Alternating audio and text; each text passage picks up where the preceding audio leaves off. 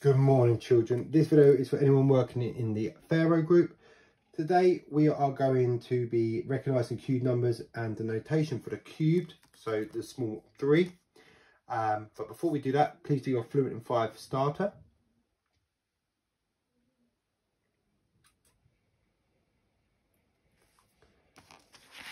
And here are your answers.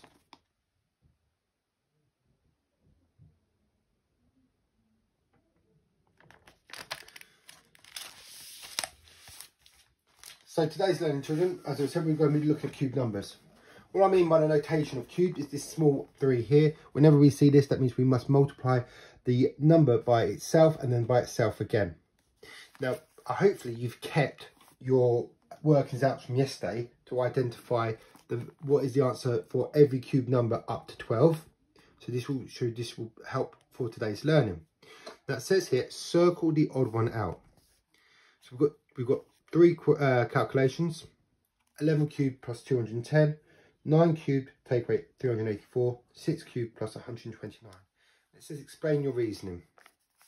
So first we're going to work this out. Now 11 cubed is 100 1331 we're going to add 210 to it. 1 plus 0 equals 1 3 plus 1 equals 4. 3 plus 2 equals 5. 1 plus nothing equals 1. So this answer is 1,541. We'll work out what this one is. 9 cubed, 729.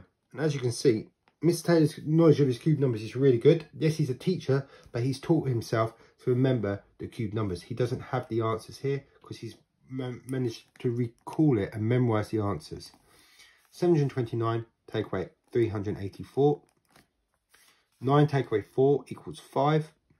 2 take away 8 we cannot do, so we exchange. 12 take away 8 equals 4. 6 take away 3 equals 3. 6 cubed plus 129. So we're going to work this out now. So 6 cubed, as I said, Mr. Taylor's knowledge is really good. 216. Add 129. 6 plus 9 equals 15. 1 plus 2 equals 3, plus another 1 equals 4. 2 plus 1 equals 3. So we have a look at our three answers. 1,541, 345, 345. Which was the odd one out? Circle it. Well, it's pretty clear that this one is the odd one out. Explain your reasoning. And write a short sentence 11 cubed plus 210 equals 1541 whereas the other two questions equal 345 very simple Second question. Kaylee says the number 733 is a cube number. Is she correct? Prove it. Now, to do this, you can use your answers on that extra sheet that you've got to prove it. And the best way of proving it is proving, finding a cube number. If it is a cube number, write it down. If it isn't, find the cube number that's the nearest cube number that is below it and the next cube number after it. So for example, 9 cubed equals 729. 10 cubed equals 1000. 733 is between these two numbers. And as you can see, there's not a number in between 9 or 10 that we cube. So is she correct? No. And we've proved it by showing that there. And here we go, the last one.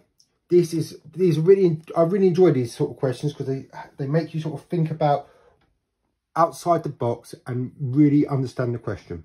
Solve the word problem below. I am thinking of a number. If I cube my number, then take away 169, I get another cube number. What number am I thinking of? Now, the first thing we want to do, children, is we need to find So it's asking us to, that's a number, we cube it, we then take 169 away from it, and then we get another, we get another cube number. So an answer of a cube number. So for example, 64, because 64 is 8 cubed. So this must be a cube number. But we need to make sure that whatever we cube has to be greater than 169. So I couldn't do 4 cubed here because 4 cubed is 64. Well, I can't do 64 take away 169. 5 cubed is 125, so I can't do that. 6 cubed is 216. So I can do that. So we're going to use 6 cubed now, which is 216, take away 169. Now, if our answer is a cube number, we've got it right. So let's see. 6 take away 9 cannot do. 16 take away 9 is 7. 0 take away 6 we cannot do. 10 take away 6 is 4. 1 take away 1 is 0. 47 is not a cube number. There is no number that when you multiply it by itself and itself again will give you the answer of 47. So it can't be 6. We could try 7 cubed now. So 7 cubed, 343. Take away 169. So this is to see if 7 cubed, 7 is that missing number. 3 take away 9, we cannot do. 13 take away 9 is 4. 3 take away 6, we cannot do. 13 take away 6 is 7. 2 take away 1 is 174. If you look at your answers on your sheet that you've got, you can tell me, you'll be able to tell me that 174 is not a cube number. So this cannot be 7. Let's try 8 cubed. Now, as you can see, children, 8 cubed is 512. What I've done so far, I've done two calculations and they're both incorrect. Doesn't mean I've got the wrong answer yet. We're doing trial and error. Now, you've got to keep persistent with this to hopefully get yourself um, till you get the right answer. Don't just give up after the first one. Keep trying. And that's why I really like these sort of questions because the answer is not straight away there. You've got to take your time and really think about it. 2 take away 9 cannot do. 12 take away 9 equals 3. Cannot do 0 take away 6. 10 take away 6 is 4. 4 take away 1 is 3. So our answer here is 343.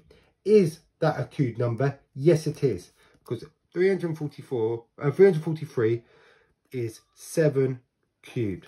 So we know our missing number, because this was our starting number. So 8 cubed, 8 cubed, take away 169 equals 7 cubed.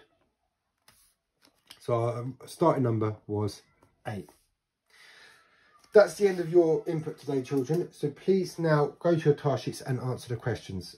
Best of luck.